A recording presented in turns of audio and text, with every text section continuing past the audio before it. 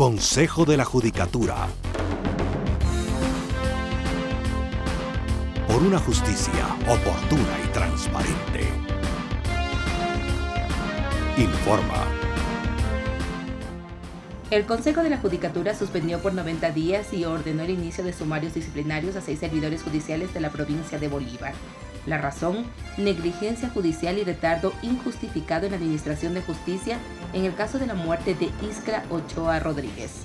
La deportista de 14 años falleció en Guaranda en noviembre de 2011 durante los Juegos Nacionales. En la resolución nosotros hemos dispuesto la suspensión en contra de los servidores judiciales Mario García Barragán, Jorge Cárdenas Ramírez, José Miguel Gaibor Ramos, en sus calidades de jueces provinciales de la sala especializada de garantías penales de la Corte Provincial de Justicia de Bolívar.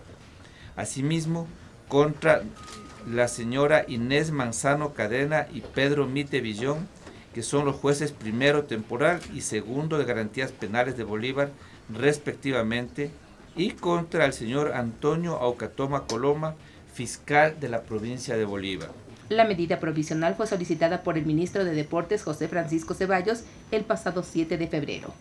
Algunos jueces, fiscales sancionados, siguiendo las investigaciones y si han sido responsables, exigiremos que sean destituidos, que, sean, que asuman la responsabilidad por haber permitido que la hostal, donde falleció trágicamente nuestra deportista en unos Juegos Deportivos Nacionales de Menores,